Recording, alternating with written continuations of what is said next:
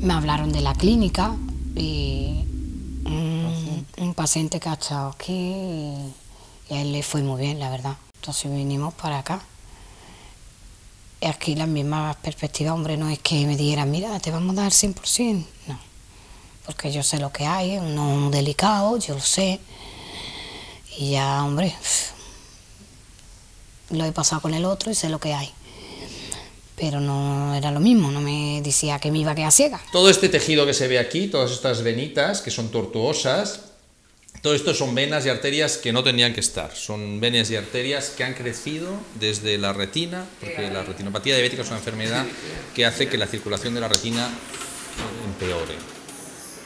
Y el problema es que tenía un desprendimiento de retina que no solo afectaba a la parte de detrás, sino que afectaba a la parte de arriba y a la parte de abajo, la parte más anterior de la retina y eso es bastante complicado quirúrgicamente, pero bueno, afortunadamente nos lo tomamos con calma, ella sabe que estuvimos bastante rato operándola, ¿eh? al final me decía, bueno, cuando acabamos, ya estaba un poco harta de estar ahí estirada, pero bueno, tampoco sufriste, ¿no? No te dolió. Bueno, la operación que vamos a hacer esta tarde, en principio, consiste en quitar el aceite de silicona, tendrás una burbuja más grande, que es la, que ocupa toda la cavidad vitria, que es la cavidad grande del ojo, y hay unas pequeñas burbujitas que se han depositado en la superficie de la retina, que también las tenemos que quitar. Cuando ya hemos quitado el aceite de silicona, eh, trabajaremos sobre el cristalino, que es la lente que se ha producido una opacidad, ¿eh? no es tan transparente.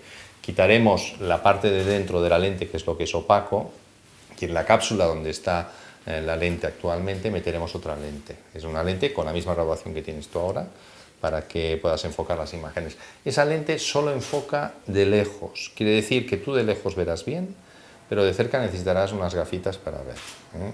Esto es una cosa. Se puede poner una lente de otro tipo que se llama multifocal, que en teoría permite enfocar de lejos y de cerca, pero que produce eh, deslumbramiento y no es ideal para una persona como tú que ha tenido problemas en la retina. Entonces lo mejor es poner una lente que lleva un filtro especial, ultravioleta, que es un color un poquito amarillo, que se asemeja a la lente natural y que hace que la retina se, se dañe menos, que aguante mejor la retina. Y al final, cuando yo veía al doctor de salir con esa sonrisa que salió él tan contento, yo lloraba, pero me reía porque lo veía tan sonriente que yo estaba asustada de lo que él me iba a decir, pero ya cuando lo vi de sonreír de esa manera y de explicarme las cosas y...